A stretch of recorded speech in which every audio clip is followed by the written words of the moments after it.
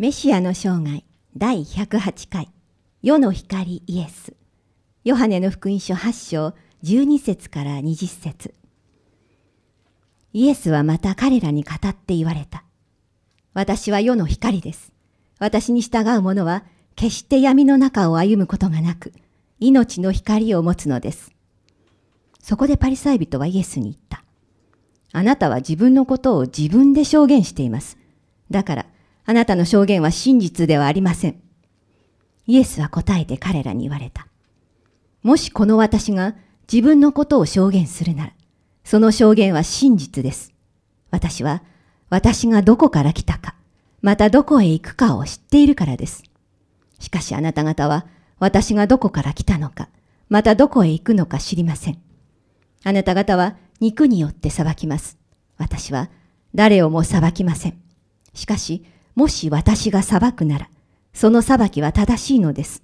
なぜなら、私一人ではなく、私と私を使わした方とが裁くのだからです。あなた方の立法にも、二人の証言は真実であると書かれています。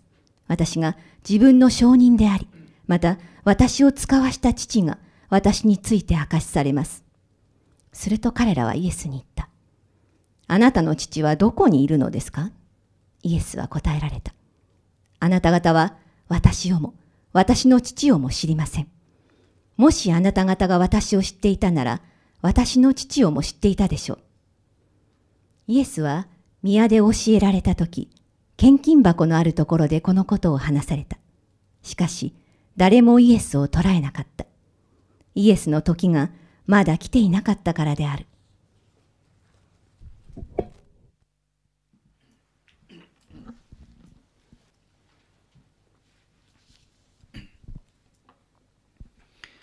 はい、皆さんおはようございます。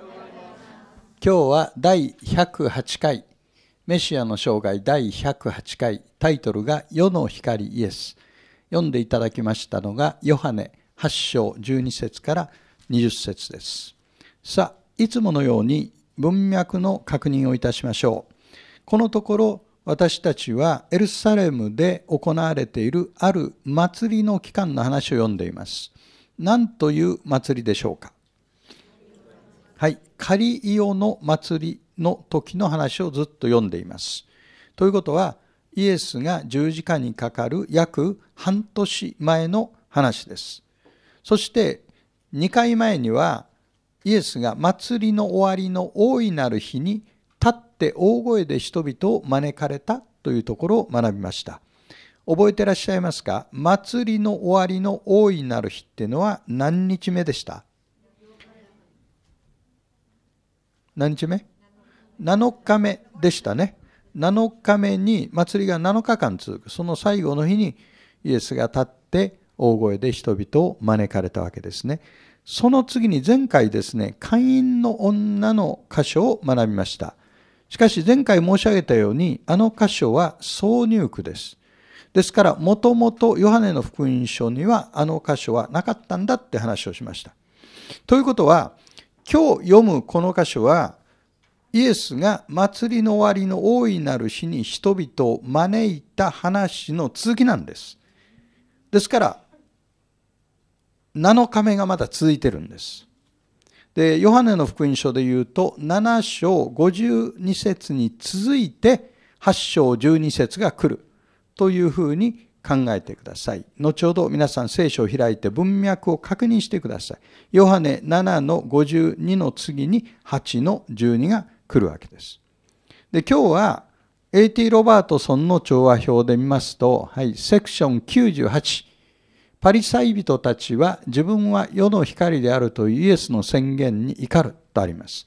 このセクション98の次が99が続きますが、これが一つになってイエス様の長い長いメッセージになっています。これがヨハネの福音書にある7つの説教の中の第5番目の説教です。まとめて取り上げるにはあまりにも長いんです。それで98、99に分かれています。今日はセクション98だけを取り上げます。これはクリスチャンであれば皆さんよく知っているフレーズが出てきます。世の光。という言葉です。私は世の光であるという言葉です。で、今日の内容は読んで分かるようで分からない。分からないようで分かったような気になるという非常に不思議な箇所であります。ですから、どういう内容が出てくるかということ、アウトラインを少し普段よりは詳細に皆さんにお見せしたいと思います。では、アウトラインを見てみましょう。でも驚かないでください。どうしてかっていうと、この見方を教えます。まず、括弧1読んでください。イエスの宣言、イエス様がある宣言をするわけです。それが、私は世の光だという宣言です。はい、括弧2読んでください。論争、その宣言を受けて、パリサイ人とイエスの論争が始まるわけです。で、一番下に飛んで、括弧3読んでください。結末。じゃあ、その論争の結果、どういうことになったのかというのは結末です。わかりやすいでしょ？たったそれだけ押さえればいいわけです。イエスの宣言、論争、結末ですよ。けれども、論争の内容が今日のメインディッシュなんです。だから、論争の内容を少し詳しく皆さんに事前にお見せしておきますというのがこのアウトラインの趣旨です。論争の内容の丸1、パリサイ人がこう言います。自己証言は無効である。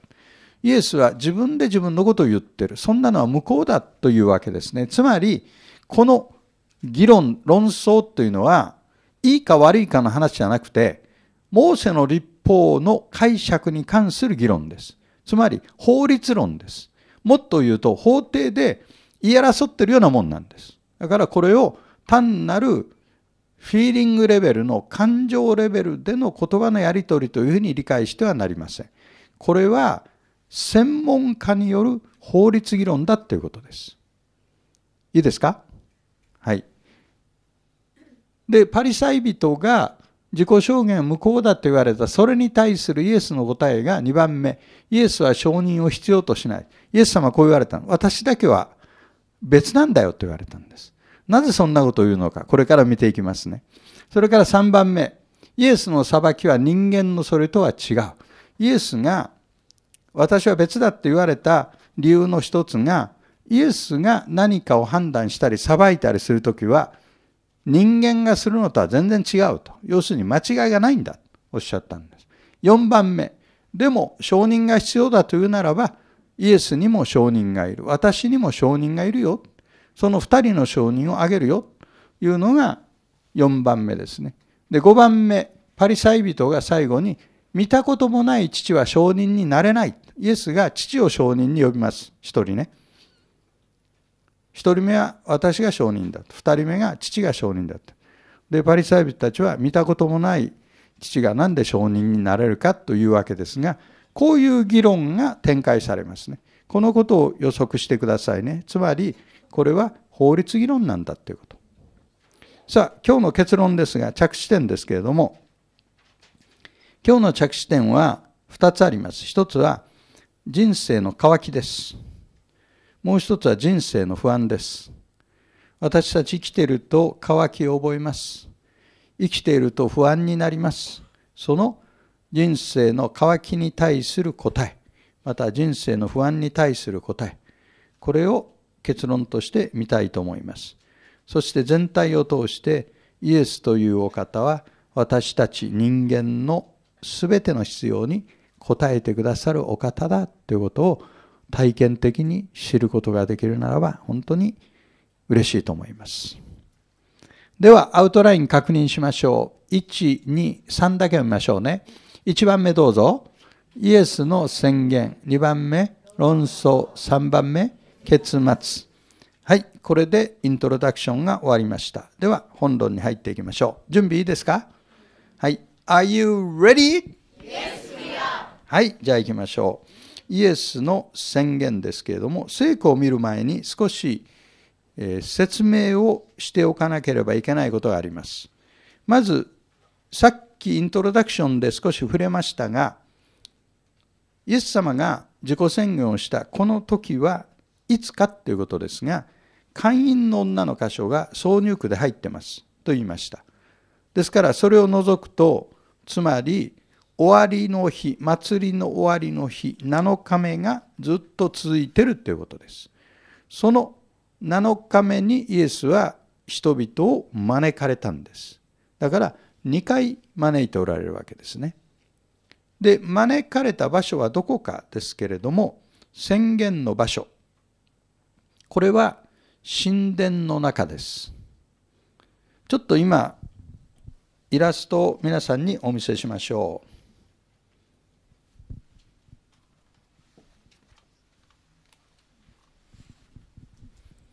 はい、これが神殿のイラストですけれども、ここに赤い屋根、レンガ屋根の楼があります。建物があります。これがソロモンの楼というんです、普通ね。で、ここでラビたちが教えてる。だからイエス様はここで教えてることが多かったわけですね。今日の出来事はどこで起こったのか。神殿に来ますと、ここに柵があるでしょう。この外側が違法人の庭っていうんです。だから僕らが当時エルサレムに行ったとしたら、ここまでしか入れなかったんです。そして中を、中に入っていきますと、ここに広いスペースがあります。これが婦人の庭っていうんです。よく見てください。この辺に集まっての婦人の人ばかりでしょ、これ。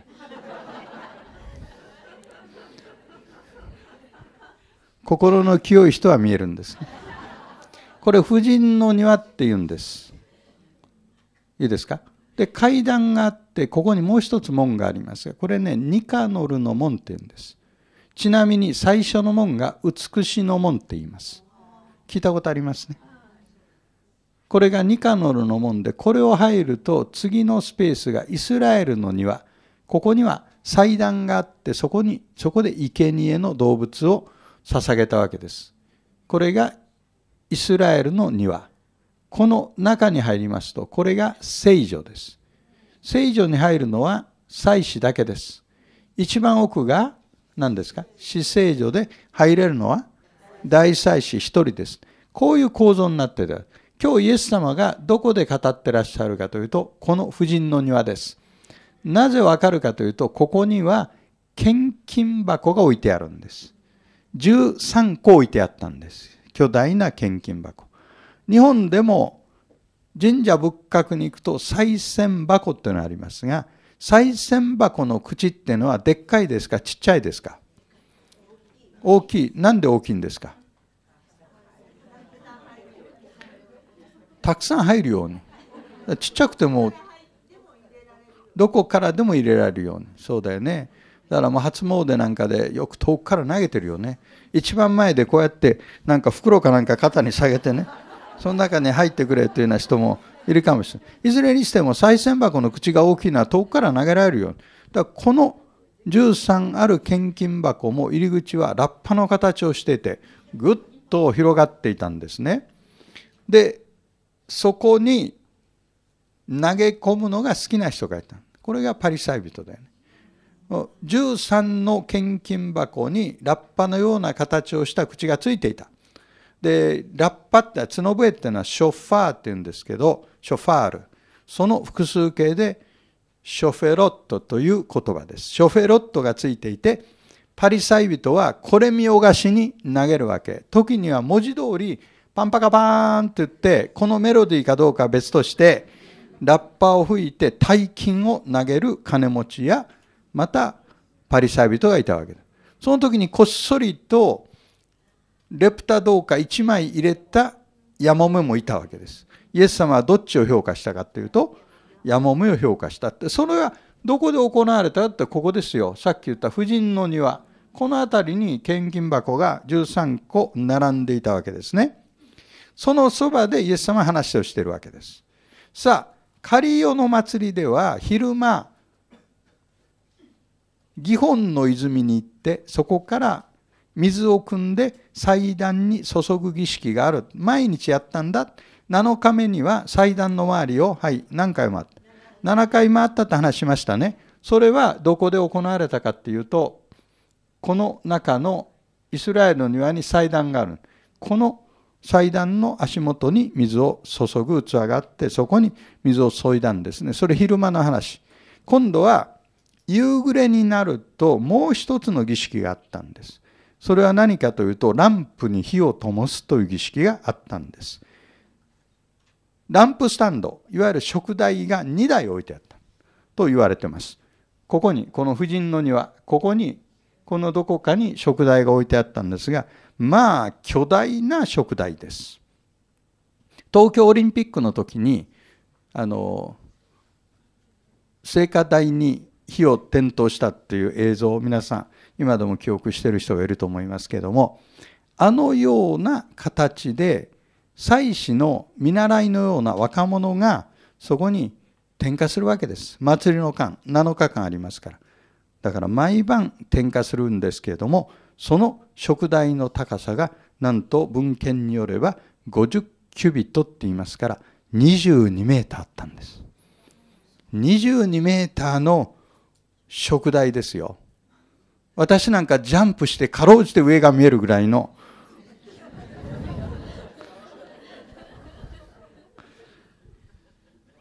まあ今のは起きてるかどうか確かめただけですけどでその食台の上に巨大なランプが4つあったんですそこにもちろんオリーブオイルが入れられてますオリーブオイルも一番品質のいい一番搾りっていうやつを使ってるわけですね。あら、あの言葉はキリンビールが発明したわけではない。昔からあるわけです。神殿に捧げるのは一番搾りのオリーブオイルですね。そこに夕暮れになると火を灯すわけです。はい。ランプは合計いくつあるの？え？ランプは何個あるの？聞いてた？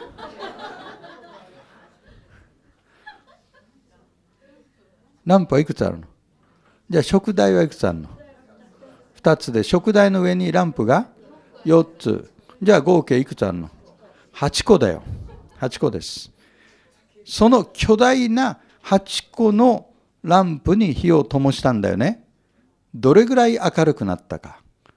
ユダヤ教の経典であるミシュナ、ミシュナってこれはタルムードの中にあるあの部分ですけども、ミシュナによればランプの光はエルサレムの街中を照らし狭い路地までその光が届いたっていうんだよ僕が言ってんじゃないミシュナが言ってるわけ要するにそれぐらいにこの明かりっていうのは暗闇の中に輝き人々に希望をもたらしたっていうことですねでこのカリオの祭りっていうのはイスラエルの祭りの中では一番楽しい祭りです。ですから音楽と踊りとがあるんです。どこで誰が音楽を奏でたのか。はい、この階段があるね。ここにレビ人が整列して、そして楽器を演奏し、聖歌隊が賛美を歌ったんですね。そしてその賛美を聞きながら、この周りで、この前でラン、あれ？この食台の周りで人々が踊ったんですけど普段しかめっ面をしている祭司やパリサイ人でさえも一晩中踊ったっていうんです。だからサタデーナイトフィーバーっていうのは昔からあったわけですね。でどういう賛美歌を歌ったのか。はい、聖書を持っている方、詩編の120編を開いてみてください。詩編の120編の前書きに何と書いてあるか教えてください。開いた方。何て書いてます？詩編120編。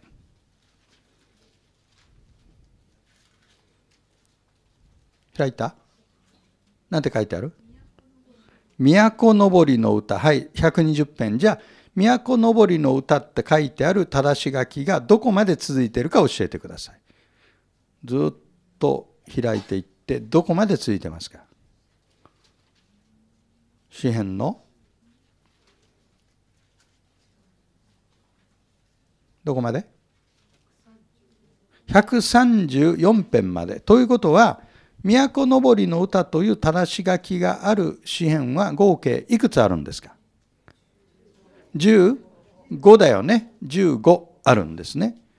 しかし、この都登りの歌、あるいは別の聖書では都に登る歌とこう書かれていますけれども、これは間違いではない。だから、人々がエルサレムに巡礼に登っていく途中でこの歌を歌ったんだっていう解釈も間違いではない。けれども、ヘブル語の原文では、都という言葉はないんです。シールっていうと歌って意味なんです。シールハマロットって言うんですが、シールハマロット。これはどういう意味かと、上りの歌って言うんですね。Songs of Ascension なんです。登っていく歌なんで。ということは、巡礼歌だという解釈も間違いではない。しかし、もっと厳密に言うと、これはいつ歌ったのかというと、祭司たちがこの階段を上って聖女に入っていく時に歌った歌です。だから、上りの歌というわけですね。さっき、上りの歌がいくつあったと言いました。15個あったんです。はい。この階段の段数がいくつあると思う ?15 だよね。だって、もうここまで導いて質問してるんだから。これで13とか言われたらがっくり。15あるんだ。ということは、都のぼりの歌が15あって、階段が15段あるということは、どういう構造になってんの？一段登るごとに一曲歌うんだよ。そうやって15段登っていったわけですね。もうイメージが湧くでしょ人々がどんなに喜んでこのカリオの祭りを祝っていたか。で、これはカリオの祭りっていうのは水の祭りであり同時に光の祭りなんです。水と光です。聖書には光の祭りっていうともう一つ出てくるんです。これはハヌカの祭りっていうんですが、大体時期的には12月頃ですね。ヨハネ10章の22節を見てください。はい、ご一緒に。その頃、エルサレムで宮清めの祭りがあった。はい、この宮清めの祭りがハヌカの祭りで、イエス様はこの祭りの時にエルサレムに行っておられました。さあ、これがイエス様の宣言を理解するための背景です。イメージしてください。人々が巨大なランプに火を灯し、その周りで喜び踊っている、そういう状況の中でイエスは何て言われたのか。はい、12節です。はい。イエスはまた彼らに語って言われた。私は世の光です。私に従う者は決して闇の中を歩むことがなく命の光を持つのですとあります。人々がこの光を喜びその周りで踊っている時にイエス様は私が光だって言われたんです。なぜ私の周りに来ないのかって言われたんです。なぜ私の周りに来て喜びを踊らないのかって言われたんです。だからこのチャレンジに満ちた言葉ってこういう文脈で読むとよくわかると思いますね。イエスは彼らに言われたとあります。彼らっていうのは霊的指導者たちと群衆のことでありましょう。世の光っていう言葉はユダヤ人たちにはよく知られていた言葉です。頻繁にユダヤ的文章の中にはこの言葉が出てきます。どういう意味で使われるかっていうと、世の光っていうとイスラエルです。世の光っていうとエルサレムです。世の光というと族長たち、アブラハム、イサク、ヤコブです。世の光っていうとメシアです。世の光というと神です。また世の光っていうと有名なラビたちです。また世の光っていうと彼らが持っていたモーセの立法のことです。この使い方に共通しているのは究極的な意義を持っているということ。非常に重要な概念を持っているということ。これが共通した内容であります。ユダヤ人たちは世の光っていうと、ある時はイスラエル、ある時はエルサレム、ある時は族長たち、ある時はメシア、ある時は神、ある時は有名なラビたち、ある時は立法を指したんですね。さらにこの祭りでランプを火を灯ランプに火を灯す儀式ですけれども、ラビたちはそれをどう解釈したかというと、社会なグローリーの象徴だと見たんです。この祭りは基本的には出エジプトの後の荒野の40年を記念する祭りです。だから水は岩から水が出たことを彼らは思い出しているわけです。社会なグローリーは何かというとイスラエルの民を神様が導かれた昼は雲の柱夜は火の柱これが社会なグローリーですそして幕屋を建設した後は幕屋に社会なグローリーが宿ったんです。だから彼らはランプに火を灯しその周りで踊りながら出エジプトの時代に神が私たちと共に住み我らを導かれた。その神の栄光が私たちと共にあるというふうに歌い踊ったわけです。しかし現実はこの時代の神殿の死聖所にはもはや社会なグローリーはなかったんです。その時にイエス様が私は世の光だって言われた。それはイエスは自分が社会なグローリーなんだ。いいですか？イエス・キリストは神の栄光の表れとして来られたんだ。確かにこの少し前では変貌山で3人の弟子たちが社会なグローリーを目撃していました。さらに彼らは天からかかった父の声を聞きました。これをバットコルと言います。バットコル。これは私の愛する子私はこれを喜ぶという父なる神の声を聞きました。イエスはイスラエルの民の間に現れた社会なグローリーです。私は世の光ですという言い方は英語では I am the light of the world I am です。私は〇〇ですという言い方は、イエスが神であることの宣言です。ヨハネの福音書の中では、2回目にこれが出てきました。I am 何々ということです。イエス様がそこで立って私は世の光だと言った時にキリストは自分が神だ、自分が社会なグローリーなんだということを民に教えてるわけです。それを聞いて黙っていない人がいるわけです。誰ですか？パリサイ人、その通り。ここから論争が始まるわけです。じゃあ論争の内容に入りましょう。まず、イエスは自分で自分のことを言っている。自分で自分を褒めてどうすんねん？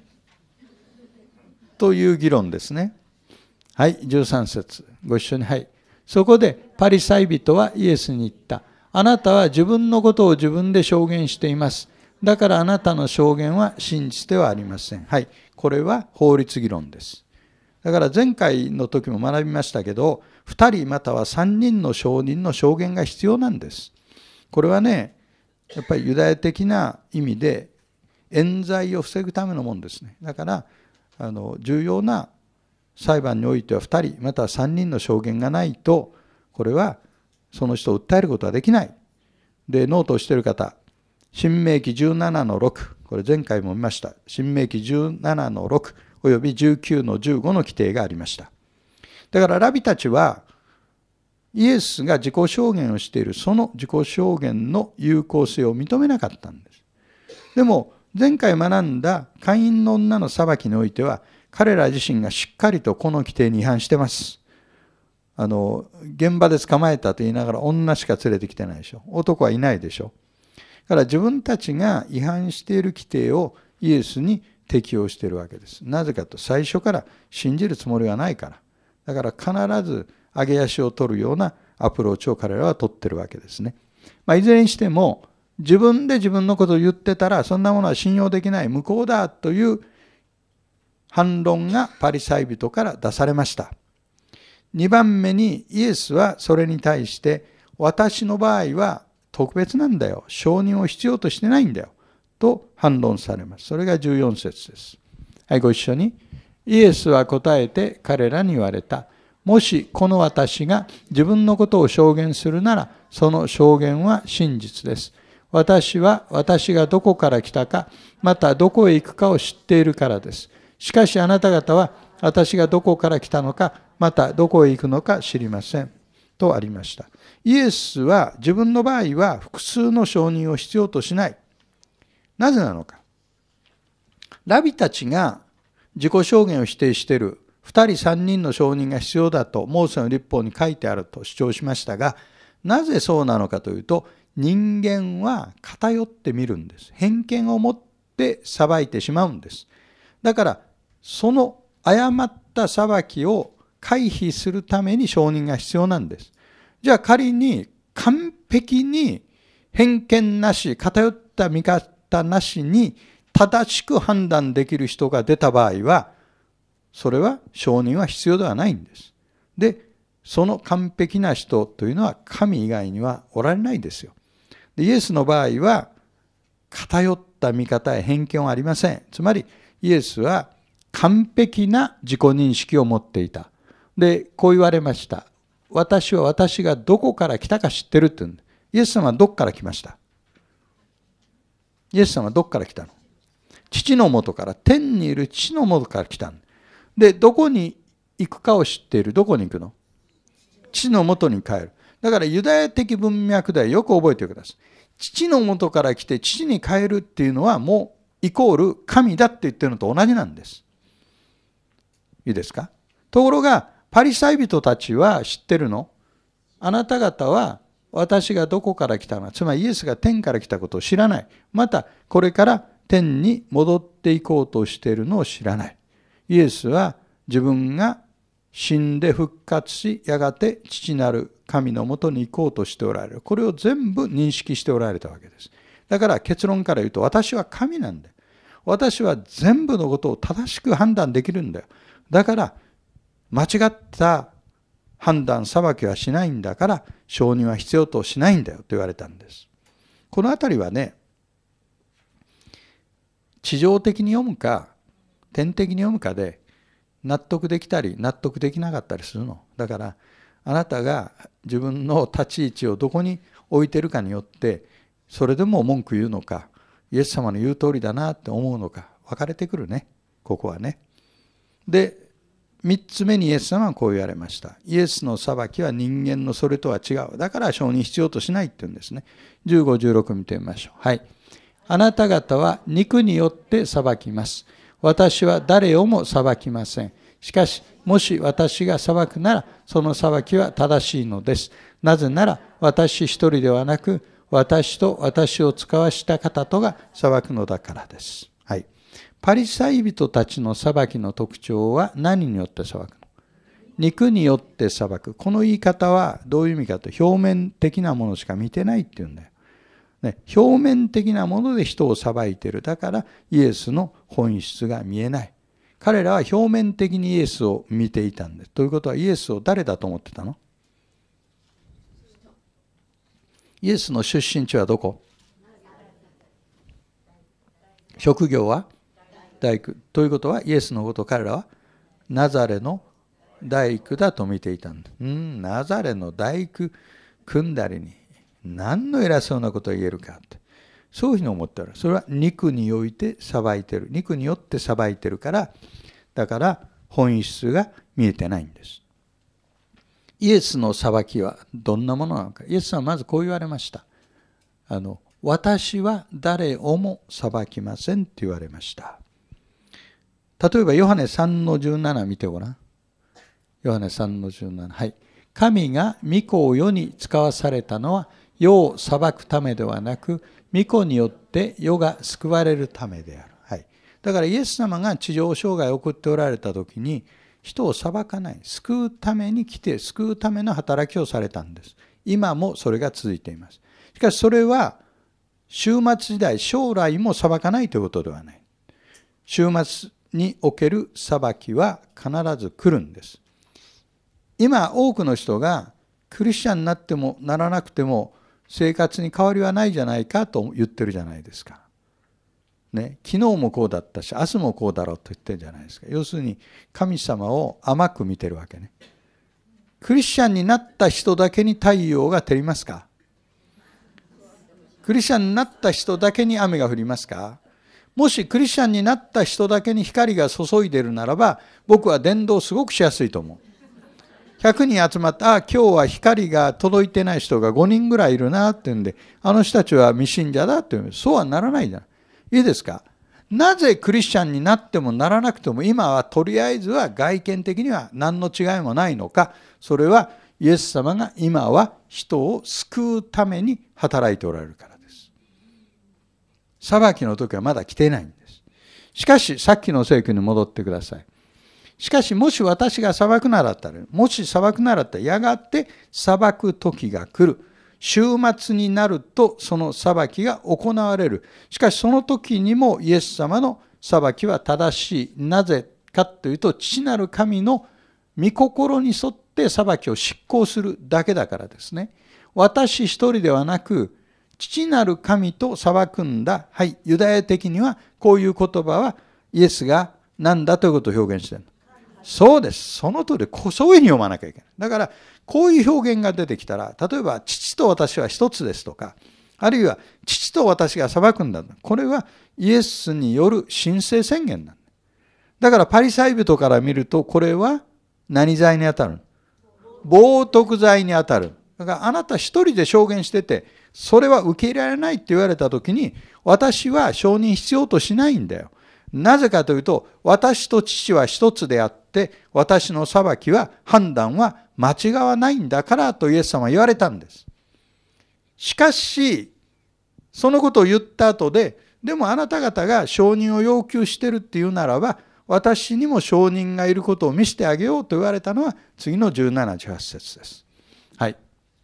あなた方の立法にも、二人の証言は真実であると書かれています。私が自分の証人であり、また私を使わした父が私について証しされますとあります。まず見てください。あなた方の立法ということがありますが、これは皮肉です。あなた方の立法ってこの言い方は完全に皮肉ですよ。彼らはモーセの立法の所有者でしょ。でもそれを都合よく利用しているわけですよ。本当に所有者ならその命令に完全に従うべきですね。だからイエス様はここで、あなた方の立法にもって、で、その立法の著者はイエス様が美味しいんだよ。だけどもこういう言い方をして、彼らに考えなさいと言ってるわけですね。イエス様はここで、モーセの立法に2人ないし3人の証人の要求が書かれてあるということを認めてるんです。否定してるんじゃないんです。それで私にも証人がいるよと言いましたが、はい、ここにはユダヤ的議論が隠されています。これはよく私が言う大から小の議論、あるいは小から大の議論。あることについて事実であれば、ましてやこのことはという言い方です。だから人間の証人が2人3人いてそれが有効であれば、ましてや神ご自身が証人であれば有効であることは当然だろうという議論なんですね。イエスの第一の証人は私が自分の証人だと言われました。もっと具体的に言うと、これはイエスが行ったメシア的奇跡です。メシアしか行えない奇跡をイエスがいくつも行いました。それを見ていたら否定できないでしょう。その証言を彼らは拒否してきたんです。だからイエスご自身が行ったメシア的奇跡がイエスは神であること、メシアであることを証言しています。二つ目に、父なる神、私を使わした父が私について証をしたとイエス様は言っています。父なる神が第二の証人です。それは何のことを意味しているかというと、天からの声です。天からの声が、例えばキリストがヨルダン川から上がった時に、その声が下りました。それから弟子たちが山の上で変貌の姿を、イエスの姿を見ていた時に天から声がかかりました。だからイエスの行ったメシア的奇跡と天からかかったこの二つの声がキリストがメシアであることの証人になっているとイエス様は言ったわけです。それでもユダヤ人たちは、はい、信じた？信じない？信じない。だって頭からも信じようとしてないんだもん。だから彼らは最後に何て言うかっていうと、父が証人だって染めた。見たことのない父は証人になれない。いうわけですね。ああ言えばこう言うだよね。はい。じゃあ19節見てみよう。はい。すると彼らはイエスに言った。あなたの父はどこにいるのですか？はい。ここまでちょっと待ってみよう。あなたの父はどこにいるのですか？と彼らは言いましたが、この言葉は皮肉であり、侮りの言葉です。ちょっとやってみるね、その場面を。イエス様は私の使わした方も証人だって言った時に、パリサイ人はこう言ったの。周りを群衆が取り巻いたわけね。聞いた？こいつに父がいるんだって。父どこにいるか知ってる？本人さえ知らないよ。ということは何言ってるかというと、イエスが天の父のことを言ってるのに、それ分かってて、彼らは地上的なレベルで論じてるわけね。つまり、イエスは、ててなし語だって言ってるわけ。イエスは、婚外子だって言ってるわけ。イエスの誕生に関する噂をもう知ってるわけや。で、マリアはね、実際に夫婦生活に入る前にイエスを産んだんだよ。で、ユダヤ教の経典のタルムードにちゃんと書いてある。ちゃんとかどうか別だけど。イエスは婚外子だって書いてある。結婚外で生まれた子供だと書いてある。だから、あなたの父はどこにいるのかってみんなこれで、うわーって笑ってあざかってるわけだよね。で、父を知ってるんだ、連れてこいよ。証人だったら法廷に立って証言しなきゃいけないだろうっていうのが、あなたの父はどこにいるのですかっていう言葉です。イエス様ではあなたのお父さんはどこにいらっしゃいますかってこんな意味じゃないわけね、ここはね。イエス様はね、福音書の中で一度もヨセフのことを父と呼んでないです。イエス様が父っていうのは天の父のことです。だからイエス様は何と言われたのか、ここで。はい。あなた方は私をも私の父をも知りません。もしあなた方が私を知っていたなら、私の父をも知っていたでしょう。イエス様はね、あなた方は父がどこにいるのかって揶揄して笑ってるけれど、私のことを知らないだよ。私を知っていたら父を知っていたんだよ。はい。ユダヤ的にはこの言葉もどういう意味イエス様がご自分を神だと言ってるのそういうふうに読まなきゃいけないです。私を知れば父を知るんだとイエス様は言われたわけです。でもね、見てわかるように平行線だよね。でイエス様が常に天からの視点で語ってるのにパリサイ人たちは地上の領域を一歩も出てないね。結末です。はい、結末最後20節はい、ご一緒に。イエスは宮で教えられた時、献金箱のあるところでこのことを話された。はい。献金箱のあるところっていうのは神殿の中の何という場所婦人の庭、献金箱がいくつあった？13個で献金箱の入り口はどうなってた？口のところ。ラッパの形をしていた。そこで話された。ちゃんと書いてある。しかし誰もイエスを捉えなかった。イエスの時がまだ来ていなかったからである。はい。イエスの時が来ていないとはどういう意味ですか？十字架にかかる時がまだ来ていなかった。ヨハネは常にこういう書き方をしますね。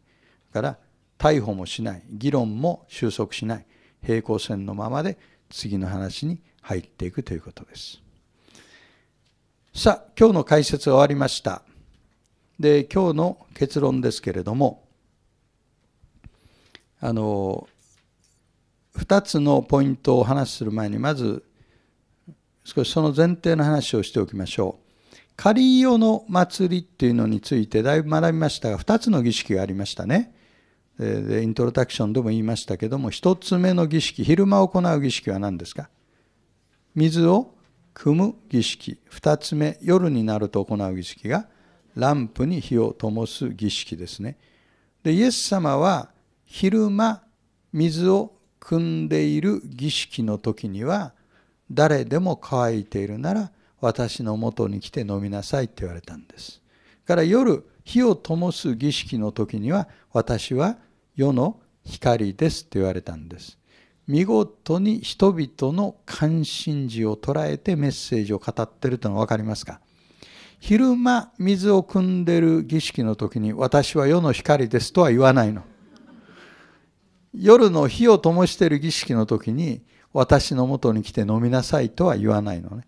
つまりイエス様は人々の関心事や人々の必要をよく捉えてその文脈の中でお話をしておられるということです。私たちには大いに参考になりますね。私たちの伝道の仕方が大いに参考になりますね。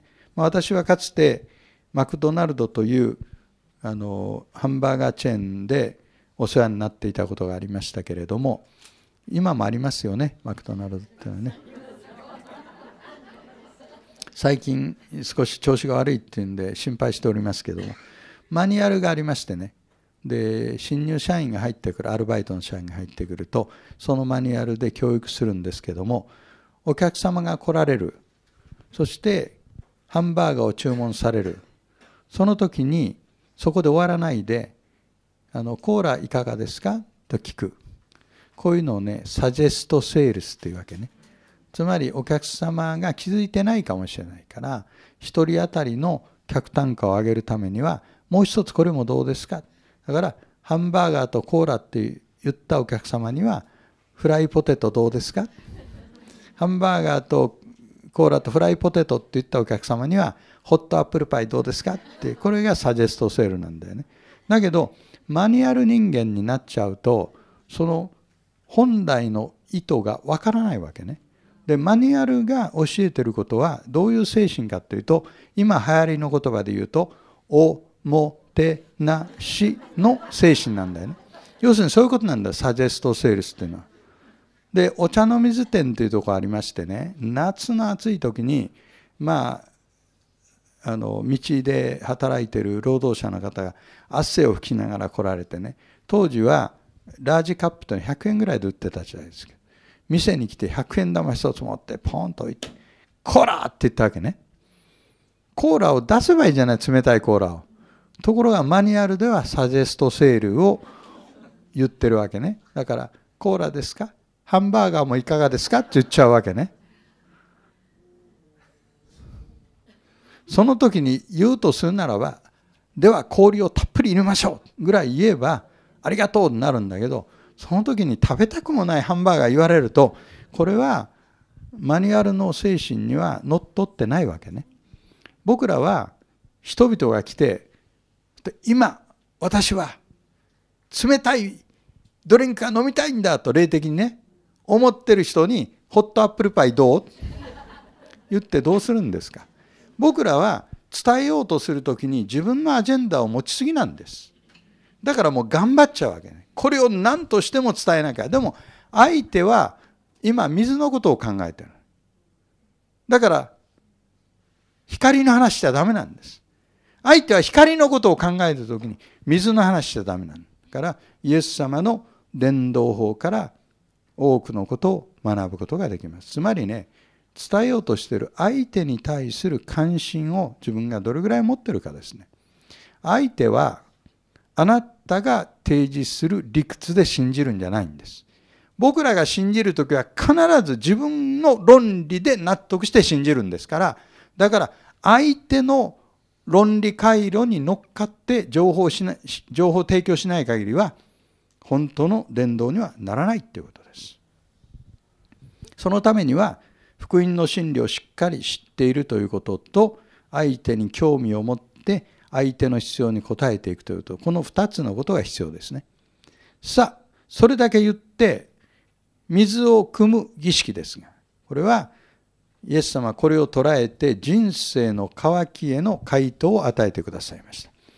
この箇所に来ると私も喉が渇きましたから今一杯水をいただきます。では以前読んだことなる聖句、ヨハネ7の37から38を読みましょう。はい。さて、祭りの終わりの大いなる日に、イエスは立って大声で言われた。誰でも乾いているなら、私のもとに来て飲みなさい。私を信じる者は、聖書が言っている通りに、その人の心の奥底から生ける水の川が流れ出るようになる。イエス様は、誰でも乾いているなら、私のもとに来て飲みなさいと言われました。イエス・キリストを信じる、イエス・キリストから励ましと命をいただくと、私たちの心の奥底から生ける水が溢れ出て周りに影響を与え始めるんです。ここでね、ある方の証を紹介したいと思います。えこの間開かれたフルクテンバームセミナーの感想文でこういう文章があって、私はこれを読んでとても感動しました。で、このご本人に連絡を取って、今日のメッセージでこれを紹介したいがどうだろうか。たら、はい、いいですよという許可をもらいましただから許可を得てこれをご紹介します皆さんがアンケートを書くときに読まれるんじゃないかと思ってビクビクしないで結構ですあの大抵は採用しませんから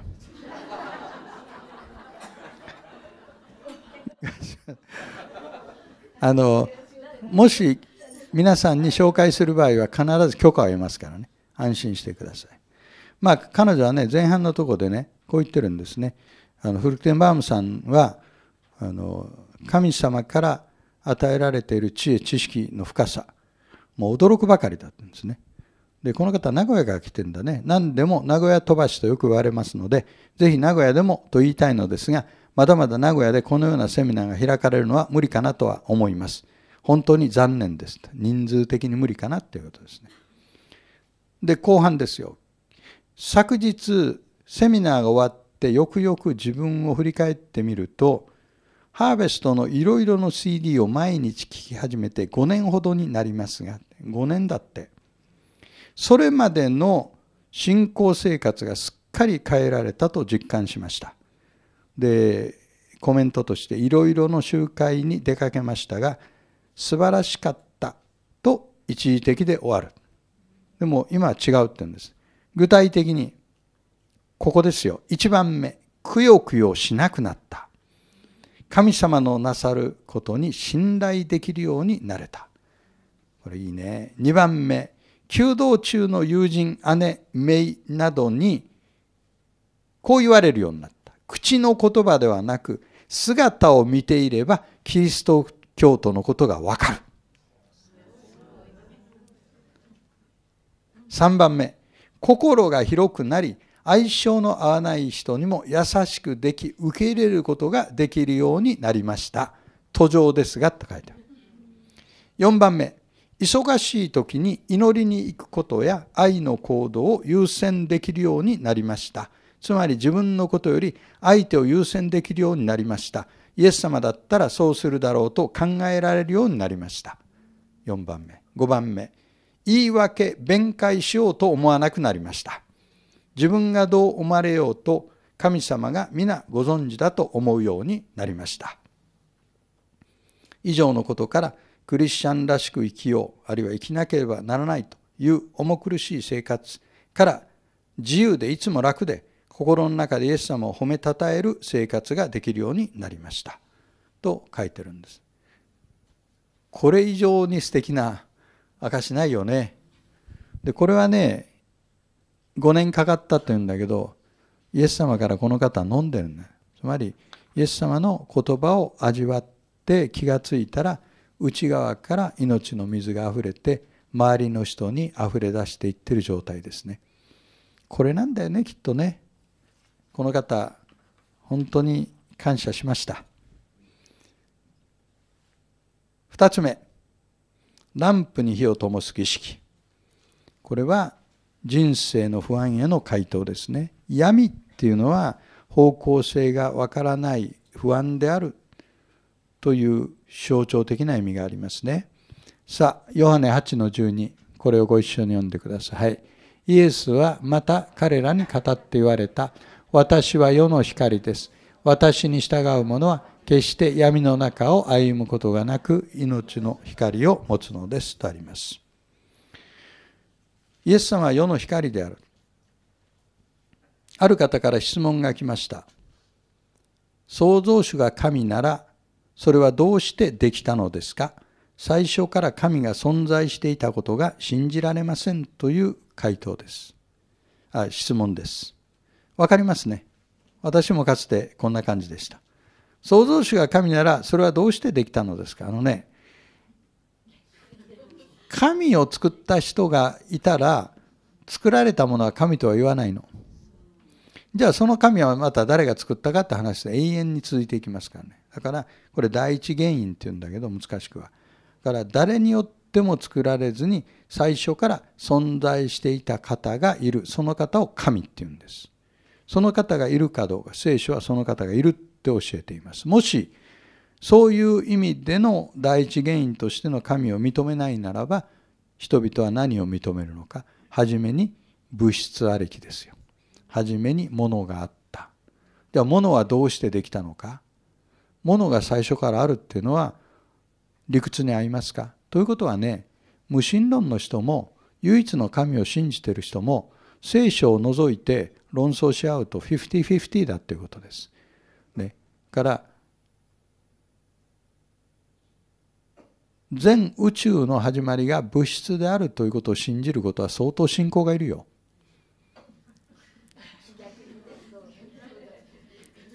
で全宇宙を作った神が最初からいると考えることと物質が最初だと考えることとは何の違いもない。両方とも信仰が必要です。じゃあこの人は最初から神が存在していたことが信じられませんって言ってるけれども私たちはどうやってイエス・キリストの父なる神を信じるのか。今日の答えがもう分かってるね。私はこういう質問している方に声を大にして申し上げたいのはイエス・キリストを見た人は、はい、何を見たの？父なる神を見たんだよ。これが答えなんだよ。だから福音書に書かれてあるキリストの姿言葉それと対決してごらん。それと血が流れるほどに熱心にその言葉と格闘してごらん。出てくる結論はたった一つだよ。キリストは神だ。キリストを見た者ははい。神を見たんです。もう一度キリストを見た者は神を見たんですだからキリストに出会った人は神に出会ってるの僕らは抽象的な黙想してわけのわからない神を求めてるんじゃなくてキリストを聖書から理解し、その方に出会い、この方を信じようと決めたときに、私たちは神に出会い、神を信じてるんです。イエスの弟子たちもまた世界の光です。世の光です。マタイの5の14。はい。あなた方は世界の光です。山の上にある町は隠れることができません。だからイエス様はあなた方が世の光だって言われたんです。隣の人にちょっと言ってあげて、あなたは世の光ですよ。あなた世の光ですよね。だからここにイエス様言われたように。ところが、そうか、私はイエス様と同じように世の、私も世の光だ。じゃあイエスと五分五分だ。イエスとためだ。なんて言わない。イエスが太陽だとすると私たちは月ですよ。イエスの光を反射させてるだけですよ。そういう意味で世の光なんですね。ということは、その光から離れたら、もはや僕らは光ではなくなってしまうということです。から、イエスに従う者は決して闇の中を歩くことがない。この言葉の意味をしっかりと捉えてください。簡単な言葉だよね。でも、私たちがイエス様に背を向けて従わなくなった時には闇の中に足を踏み入れていますイエスを見た者は神を見たんですそれぐらいに単純なんです。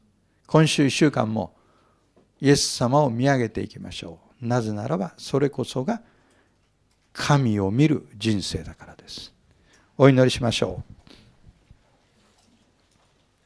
天の父なる神様、イエス様が今日、私は世の光ですと言われ、また私に従う者は決して闇の中を歩むことがないと言われました。ありがとうございます。イエスを見た者は父なる神を見たのです。今、私たちは父なる神を知り、父なる神に知られていること、感謝をいたします。喜びで満たし我らをここからこのように派遣してください。感謝して主の皆によって祈ります。アーメン。祈りましょう。